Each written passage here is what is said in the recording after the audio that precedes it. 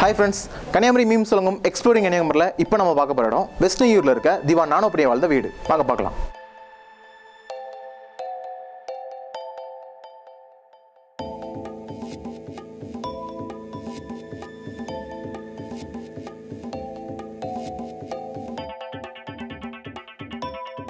திவான் நானோ பிள்ளை பார்த்தீங்க அப்படின்னா வந்து இளங்கத்து வீட்டில் ஆயிரத்தி எண்ணூற்றி இருபத்தேழாம் ஆண்டு பிறந்தார்.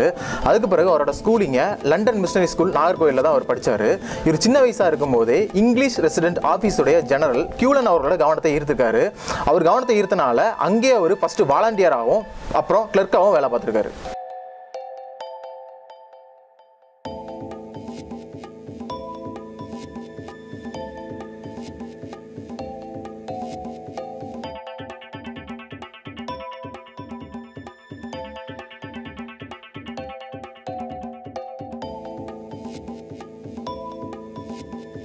இங்கிலீஷ் ரெசிடென்ட் ஆஃபீஸில் பதினாலு வருஷம் கிளர்க்காக வேலை பார்த்த அப்புறம் திவான் என்ன பண்ணுறாரு அப்படின்னா ட்ரிவாங்கூர் சர்வீஸோடைய அசிஸ்டன்ட் போலீஸ் செரிஸ்டடாராக ஒர்க் பண்ணுறாரு செரிஸ்டடார் அப்படின்னா ஒன்றும் இல்லை சீஃப் ஆஃபீஸர் அப்படின்னு சொல்லலாம்.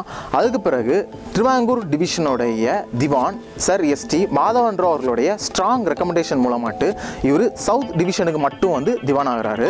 அதுக்கு பிறகு மாதவன் ராவ் அவர்கள் இல்லாத சமயத்தை ஈடுகட்டுறதுக்காக ஆறு முறை இவர் ட்ரிவாங்கூர் டிவிஷனுக்கும் திவானா வந்து வேலைக்கு சேர்ந்திருக்காரு. அதற்கு பிறகு ஆகஸ்ட் ஆயிரத்தி எண்ணூற்றி எழுபத்தேழாம் ஆண்டு சேஷையா சாஸ்திரி அப்படிங்கிற ஒரு திவானா அப்போ வேலை பார்த்துட்டு இருந்தவர் ரிட்டையர்ட் ஆகிறாரு. அதற்கு பிறகு இவர் முழு நேர திவானா அட்டை வந்து திருவாங்கூர் டிவிஷனுக்கு பொறுப்பேற்கிறார்.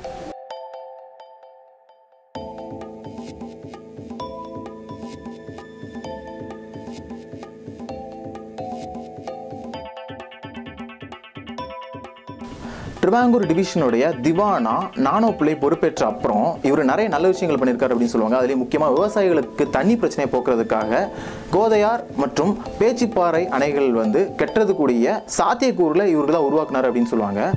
ஆயிரத்தி எண்ணூற்றி எண்பதாம் ஆண்டு இவர் திவான் பதவியிலேருந்து ரிட்டையர் ஆகிறாரு. அதற்கு பிறகு ஆயிரத்தி எண்ணூற்றி எண்பத்தி ஏழில் வந்து இவர் இறக்குறாரு. திவான் நானோ பிள்ளை பற்றியும் அவர் வாழ்ந்த வீட்டை பற்றியும் நம்ம பார்த்துட்டோம். மீண்டும் இந்த மாதிரி இன்னொரு இடத்த பற்றி நம்ம அடுத்த எபிசோடில் பார்க்கலாம். அது வரைக்கும் ஸ்டேட்யூன்